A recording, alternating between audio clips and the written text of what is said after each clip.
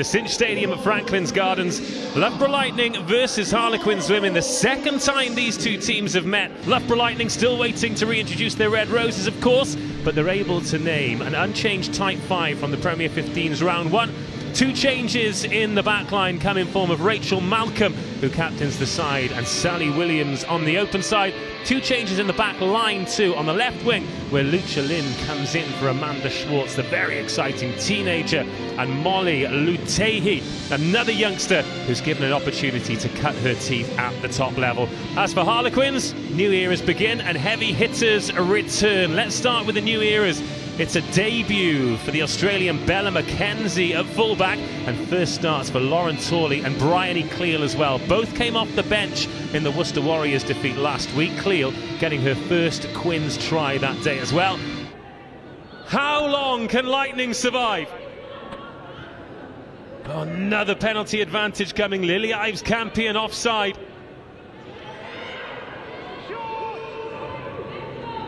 Neil Chivers eventually puts the whistle to his lips. They were short and short and short. Then Jade Konkel Roberts bullies her way over, and finally Harlequins break the deadlock.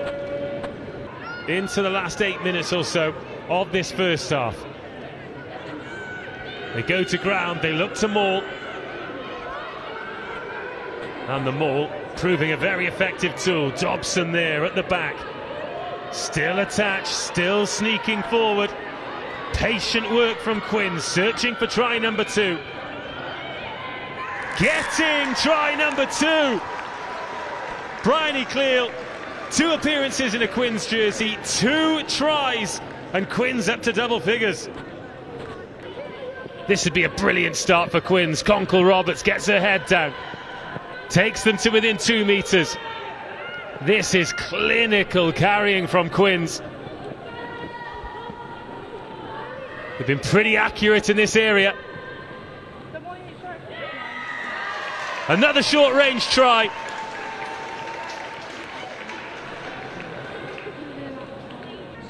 So they've lost their pace outlet but kept all of their midfield kickers on. Jess Weaver waits behind the scrum. Now she gets it. There's an overlap here for Lightning. Of course there is. There was a big read, a massive shot, but Lightning on the march. Lightning over the line. Georgie Lingham. Brilliant finish from Lingham. She's a scorer of great tries, but she scored an important try here. Lightning back in the game. Harlequins two players down. It's 8-19. All of a sudden it started to feel like a sevens game. Her bandage has come over her eyes as she was running. Space here for Lightning. They need to get the ball there, and they do. Weaver. Someone needs to tackle her. Sorry, that was Daisy Hibbert Jones. Now there's a race for the corner. What a score! Danny Allen. So Georgie Lingham got so excited. Well, everyone here is losing their heads, myself included, but Loughborough Lightning and Georgie Lingham kept theirs.